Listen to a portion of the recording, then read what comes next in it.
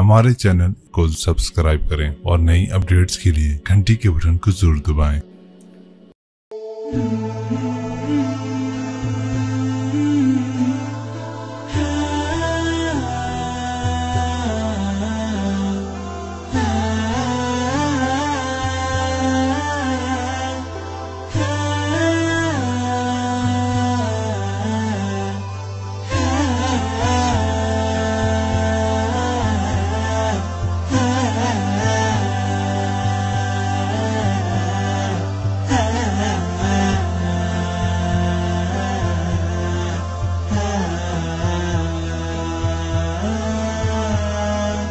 Mm-hmm.